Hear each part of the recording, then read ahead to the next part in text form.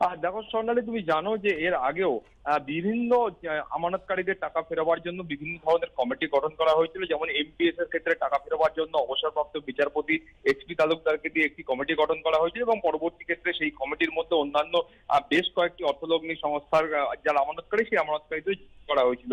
এবার সারদার মামলা আমানতকারীদের টাকা ফেরত দেওয়ার জন্য কলকাতা হাইকোর্টের প্রাথমিকভাবে যে ভাবনা, তারা একটি এক সদস্যের কমিটি গঠন করতে চান, তবে কবে, কীভাবে, কার নেতৃত্বে কমিটি গঠন করা হবে, সে বিষয়ে এখনও চূড়ান্ত সিদ্ধান্ত নেওয়া হয়নি। তবে আমানতকারীরা যাতে দ্রুত টাকা ফেরত পান, সেই কারণে এই কমিটি গঠন করা হতে পারে বলে বিচারপতিরা জানিয়েছেন। এবং তার পাশাপাশি তোমাকে বলব, তুমি জানো যে যখন শ্যামল সেন কমিশন গঠন করা হয়েছিল, সেই সময় রাজ্য সরকারের তরফ থেকে একটা শ্যামল সেন কমিশনের হাতে দেওয়া হয়েছিল আমানতকারীদের মধ্যে ফেরত দেওয়ার জন্য। এবং সেই অর্থ থেকে এখনও পর্যন্ত একশো আটত্রিশ কোটি টাকা শ্যামল সেন কমিশনের যখন মেয়াদ শেষ হয়, সেই টাকা এখনও শ্যামল সেন কমিশনের যে ব্যাংক অ্যাকাউন্ট সেখানে রয়েছে।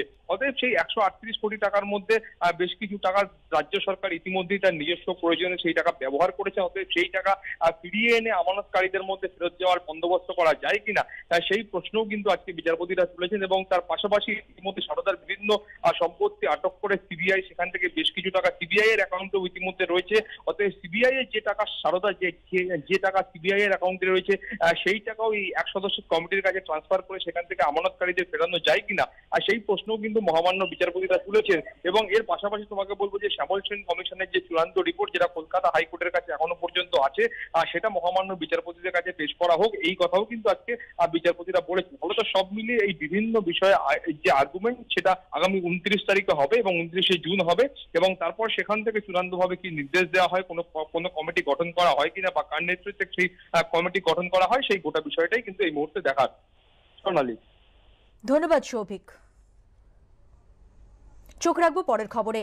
মিঠুন চক্রবর্তীর মামলা যাতে তিনি না শোনেন, তার জন্য আবেদন করা হলো কলকাতা হাইকোর্টের বিচারপতি কৌশিক চন্দকে বিজেপির প্রচারে বিদ্বেষমূলক মন্তব্যের অভিযোগে মিঠুন চক্রবর্তীর বিরুদ্ধে মানিকতলা থানায় অভিযোগ দায়ের করেছিলেন মৃত্যুঞ্জয় পাল। তিনি আবেদন করেন বিচারপতি কৌশিক চন্দ্র এজলাস থেকে এই মামলা সরানো হোক। রাজ্যের অ্যাডভোকেট জেনারেল কিশোর দত্ত আবেদন করেছেন। মামলার শুনানি পিছনোর জন্য আদালত সূত্রে খবর, মামলা অন্য এজলাসে সরানোর বিষয়ে সিদ্ধান্ত না হলেও শুনানি পিছনো হয়েছে আগামী শুক্রবার পর্যন্ত।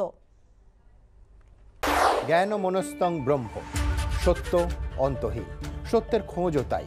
সত্য সন্ধানে তাই আমরা অক্লান্ত, অকুত ভয়। এবিপি আনন্দ, নতুন ভাবনার প্রতীক, যা মনে মুক্ত, তথ্যে যুক্ত এবং যাবতীয় সীমানার বাঁধন থেকে মুক্ত। সীমা, না, শব্দটির মধ্যে লুকিয়ে আছে মানা শব্দটি, যেন চোখ রাঙানি, এক অদৃশ্য বেড়াজাল, যা আটকে রাখে আমাদের এক ছোট্ট গণ্ডির মধ্যে। একমাত্র সঠিক খবরই গড়ে তুলবে এক মুক্ত সমাজ। সেই জগৎ গড়ার লক্ষ্যে কোনো সীমানার ঠুকুটি আমরা মানব না। এবিপি আনন্দ, এগিয়ে থাকে, এগিয়ে রাখে।